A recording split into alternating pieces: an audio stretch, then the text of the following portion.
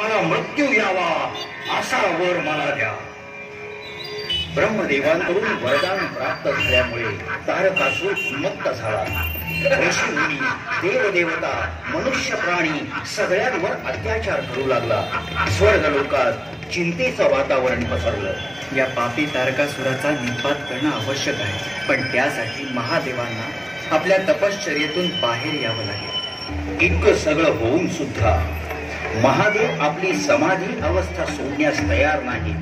हे पाहिल्यावर देवराज इंद्रानं कामदेवाला पाचारण केलं आणि त्याला आज्ञा दिली.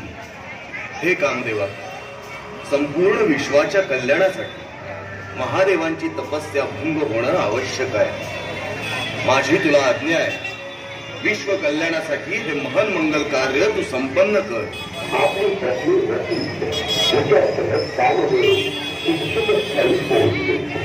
भगवान भोलेनाथांची समाधी भंग करण्यासाठी.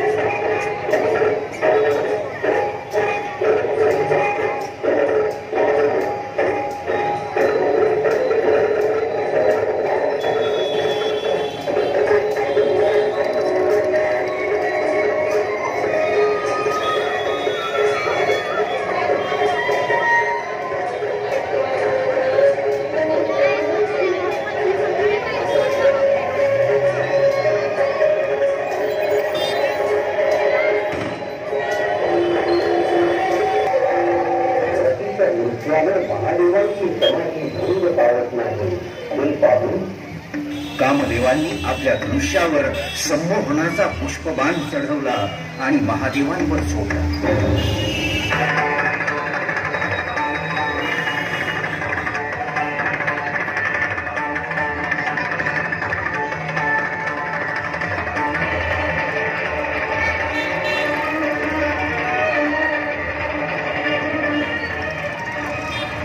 साधनेत विघ्न आल्यामुळे महादेव अत्यंत क्रोधित झाले आणि त्यांनी आपला विनाशकारी तिसरा नेत्र उघडला.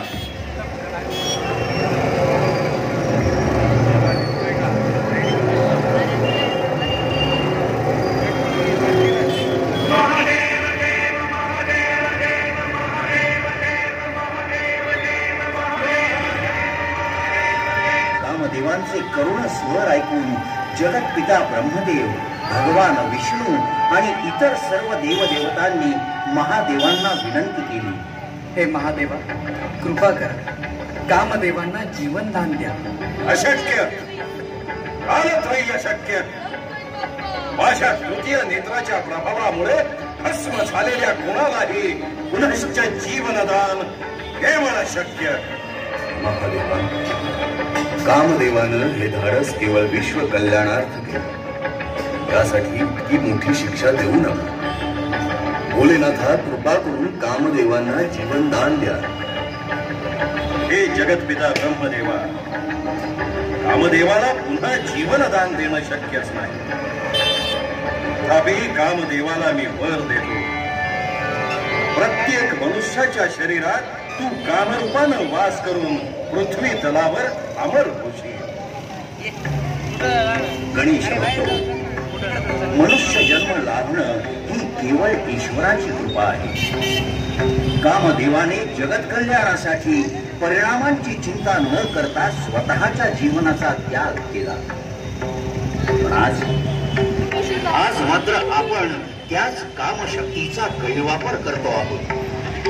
स्त्रियांवरच्या लैंगिक अत्याचारांमध्ये मोठ्या प्रमाणात वाढ झाली आहे सामूहिक बलात्कार